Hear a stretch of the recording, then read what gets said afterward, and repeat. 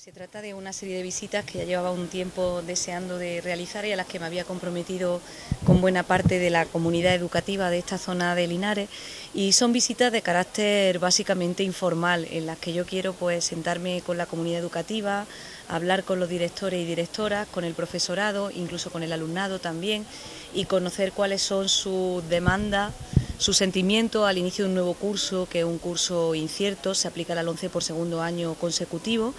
y tomar buena nota de todas aquellas actuaciones, posibles mejoras, problemas que se estén presentando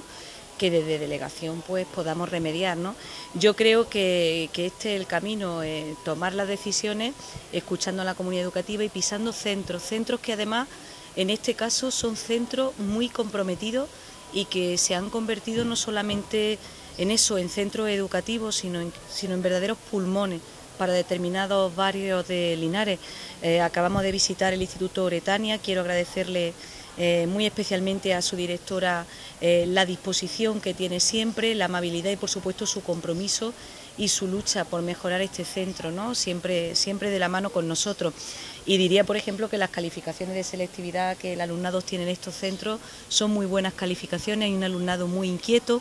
hay una oferta formativa adecuada, pero que queremos mejorar. Y bueno, también he aprovechado para visitar un, poquillo las instalaciones de mejora que se hicieron. Creo que han quedado muy dignas y bueno, habrá que seguir trabajando. ¿Se puede hablar de las demandas que se llevan en cartera de bueno, pues son demandas eh, básicamente de, carácter organizativo, demandas de más profesorado, en fin, tenemos, tenemos tiempos difíciles en cuanto a la distribución de recursos se refiere, pero vamos a poner toda la carne en el asador y toda nuestra capacidad de trabajo para que la comunidad educativa, que se merece todo lo mejor, esté pues a gusto, a gusto, ¿no? Porque si ellos están a gusto, el profesorado está a gusto, eso redunda en una mejora de la calidad de la enseñanza y los niños y las niñas van a aprender más que, por ello estamos aquí, ¿no? Eso es lo que realmente nos interesa. ¿Y cuáles son las mejoras que se han hecho en los centros de Barrial?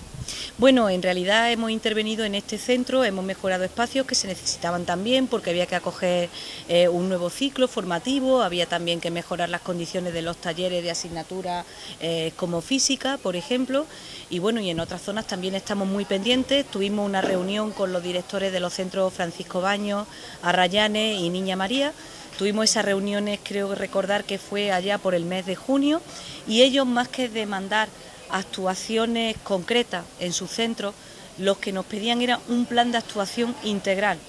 es decir, un plan en el que contemos con la voz de colectivos sociales, en la que la educación vaya de la mano de los servicios sociales, eh, del ayuntamiento y demás, y nos mostraron incluso un modelo de un plan de actuación integral que se había puesto en marcha en Sevilla, en un barrio eh, pues socialmente también con problemas, y lo estamos analizando porque consideramos que ese es el camino y es una propuesta que de delegación nos estamos tomando muy en serio y ojalá podamos empezar a ponerla en marcha.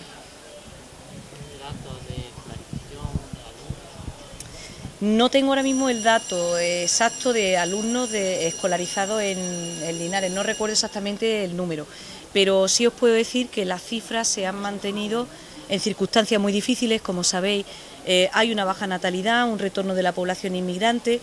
y aún así pues solamente han sido dos líneas las que han, eh, dos unidades las que han caído en, en Linares, que son en centro de educación infantil, en Niña María en concreto y en Marquese de Linares. De todas formas, intentamos paliar esa caída de natalidad con recursos adicionales, con profesores y profesoras de apoyo. Y hacemos todo cuando esté, cuanto esté en nuestras manos porque ya sabéis que lamentablemente,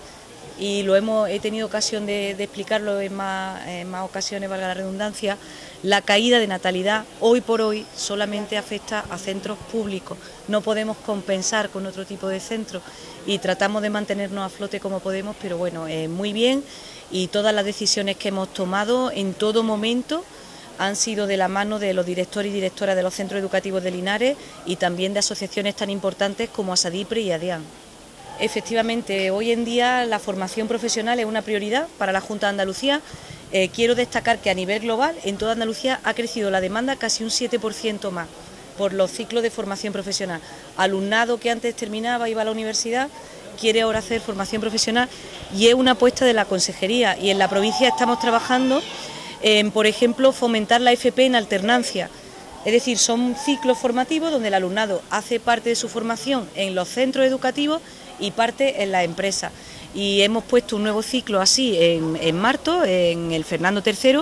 y también en los cerros de Úbeda, uno de mantenimiento electrónico y otro de gestión de alojamientos turísticos y vamos a trabajar por esa línea y yo creo que, que en Linares posiblemente en un futuro tengamos FP dual también, creo que es necesario.